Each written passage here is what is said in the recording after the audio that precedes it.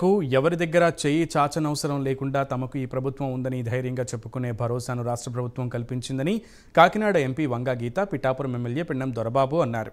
పిఠాపురం మహారాజా కోటలో గల వైసీపీ కార్యాలయం ఆవరణంలో వైఎస్ఆర్ పెన్షన్ కానుకలో నూతనంగా మంజూరైన పెన్షన్ల పంపిణీ కార్యక్రమానికి ఎంపీ వంగా గీత ఎమ్మెల్యే పెన్నం దొరబాబు హాజరయ్యారు.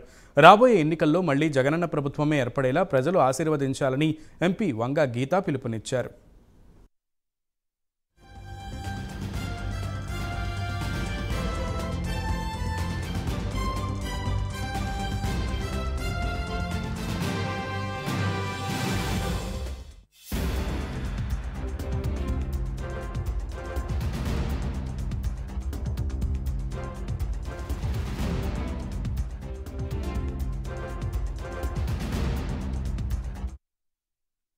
ఈ నియోజకవర్గం మొత్తం మీద నా ద్వారా ఏ ఒక్కరికి కూడా అపకారం జరిగింది అనేది లేకుండా చేసినటువంటి ఇరవై ఐదు సంవత్సరాల నా ప్రయాణంలో మీ అందరూ కూడా కూడా మంచి జరగాలనే సంకల్పంతో ఎప్పుడూ కూడా ఆశించినటువంటి వ్యక్తిగా ఎన్నో మంచి కార్యక్రమాలు నేను ఈ ప్రాంత ప్రజానికానికి అందరికీ చేయడం.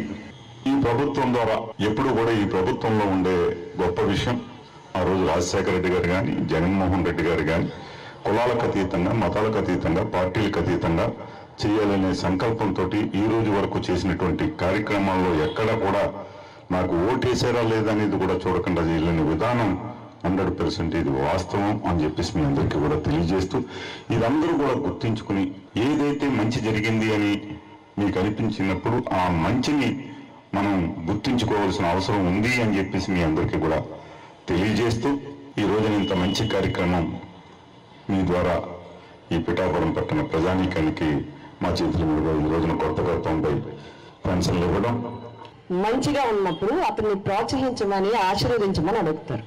మేమందరూ కూడా జగన్ గారి టీము. కాబట్టి ఆయన ఆశీర్వదించమని మేము అడుగుతాం ఇది మా బాధ్యత. బట్ ఈయన వచ్చిన తర్వాత ఏం జరిగిందనేది మీరు ఆలోచించుకోవాలి. మీరందరూ చేయాల్సింది ఏంటంటే ఇందులో చాలా మందికి పెద్దలు ఉన్నారు. రాజకీయ పరిస్థితులు మీ అందరికీ తెలుసు. ముఖ్యమంత్రుల యొక్క పరిస్థితులు మీ అందరికీ తెలుసు. మీరందరూ గుర్తు పెట్టుకోవాల్సింది ఒకటి. ఎందుకంటే మేము కూడా చాలా సంవత్సరాల నుంచి రాజకీయాల్లో ఉండే అదృష్టం మాకు వచ్చింది. ప్రజలందరితో కలిసే అదృష్టం మాకు వచ్చింది. ఎప్పుడు కూడా ఒక్కటి ఆలోచించండి. జగన్మోహన్ రెడ్డి గారికి ఓటు వేయాలని ఎందుకు అంటున్నాం అంటే జగన్మోహన్ రెడ్డి గారి లాగా ఆలోచించే వ్యక్తి రాజకీయాల్లోకి రావటం అరుదు. అది ఎందుకంటే కూడా నేను చెప్తున్నాను. ఇప్పుడు మీ పెన్షన్లే చూసుకుందాం. ఇక్కడికి అందరూ పెన్షన్కి వచ్చారు. రెండు వేల రెండు వందల యాభై నుంచి మూడు వేలకి వచ్చింది. మూడు వేలు చేస్తానన్నారు ఇచ్చిన మాట ప్రకారం చేశారు.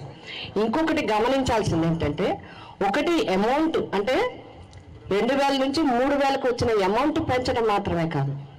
రెండు వేల పంతొమ్మిది ముందుకు ఎన్ని పెన్షన్లు ఉన్నాయి? రెండు వేల ఇరవై నాలుగు వచ్చేటప్పటికి ఎన్ని పెన్షన్లు ఉన్నాయని మీరు ఒక్కసారి ఆలోచిస్తే యాభై ఎనిమిది వేలు పెన్షన్లు ఉన్నాయి యాభై ఎనిమిది వేలు.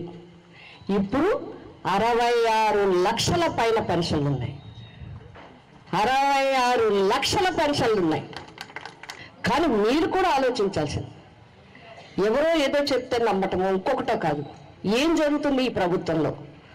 ఎందుకు గత ప్రభుత్వాలకి ఇప్పటి ప్రభుత్వానికి తేడా ఏంటి?